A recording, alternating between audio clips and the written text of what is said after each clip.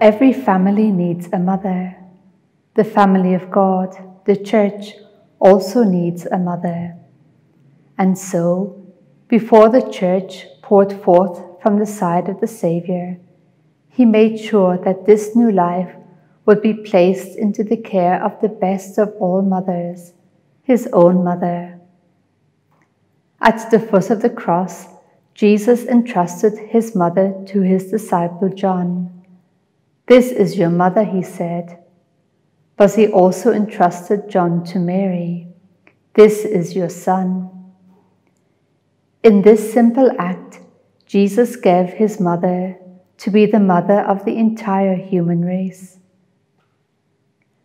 God is the only one who could choose his mother, but he did not want to keep her for himself.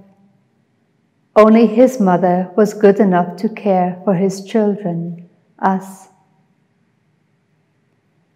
Today, when the church and our own faith is attacked as never before, God again puts his mother into the foreground. Father Kentenich, in a talk in 1948, recognized that the Blessed Mother has a special role to play in God's plan of salvation. He said, The Church is convinced that God wants to save the Church today through Our Lady. We are told by the popes of the last centuries and many great men who have recently begun to speak about the consecration to Our Lady, that she can save the world from destruction. Utter helplessness causes man to stretch out his arms to Our Lady. You are the one, you must bring the world and the church safely through all the storms of our age. As a true mother, Our Lady is not only concerned about the church at large, but about each individual child of God. You are her concern. No detail is too small for her to notice. No child is too guilty for her to embrace. When the need is greatest, she is closest.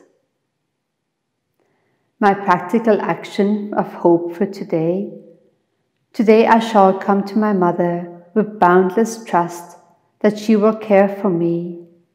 Every time I catch myself worrying, I shall say this short prayer.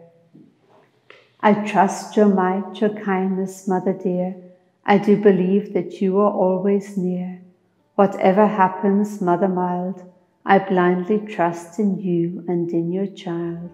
We pray, O Mother, in your holy heart, deeply inscribe each name, and as a sign that we are yours, write it with blood and flame. In love and childlike gratitude, your name shall also be deeply inscribed within my heart for all eternity. Amen.